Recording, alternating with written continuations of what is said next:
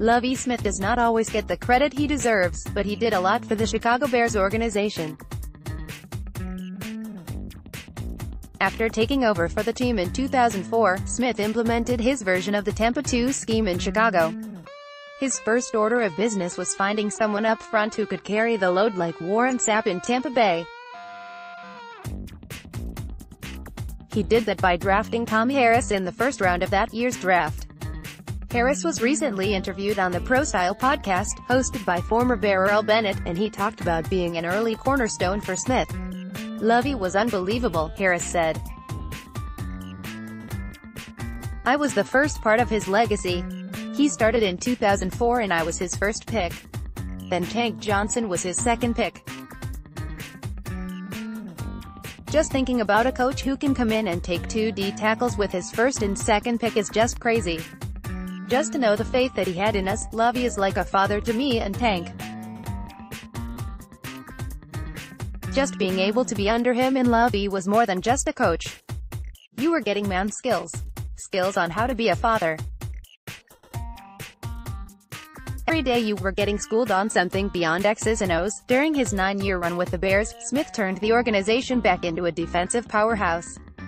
The unit was routinely among the best in the league on that side of the ball. Unfortunately for Smith, the offense typically lagged behind the defense. He went 81-63 with the team during his run in Chicago.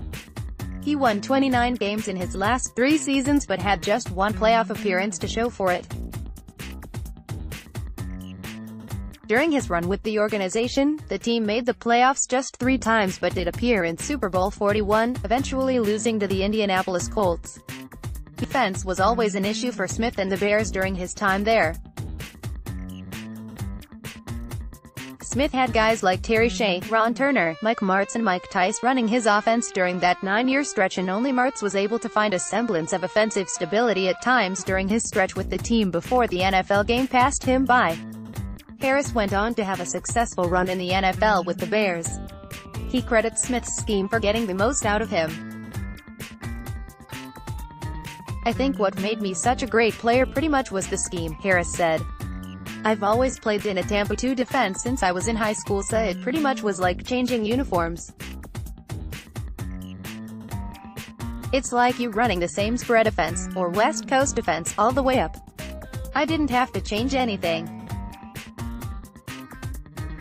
The plays were the same. Want to keep up with the Chicago Bears this offseason? Take a second to sign up for our free Bears newsletter. Harris retired from the game after the 2011 season with the San Diego Chargers. Smith took over the Tampa Bay Buccaneers in 2014 but only lasted two seasons before he was let go. He has been the head coach at the University of Illinois since 2016.